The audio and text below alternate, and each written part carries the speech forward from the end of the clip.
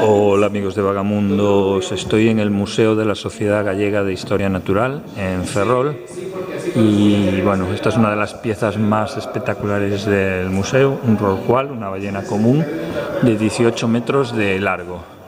Eh, todos, prácticamente todas las piezas que hay aquí en el museo fueron animales encontrados muertos en las playas de Galicia o en los bosques se les ha hecho un molde con el tamaño original y luego pues se han expuesto los esqueletos. Como podéis ver, algunos esqueletos son impresionantes, eh, están completos y a pesar de que bueno, pues esto no es un museo oficial porque es de una sociedad eh, privada, realmente es muy meritorio porque todo esto lo han hecho los miembros de la sociedad sin prácticamente fondos públicos de ningún tipo. De hecho, el edificio este oficialmente es un edificio de defensa del ejército que solo está cedido. Aquí, aquí por ejemplo, podemos ver pues eh, una toniña, que es un tipo de delfín, la parte de arriba es el esqueleto y la parte de abajo es la reproducción en escayola del animal.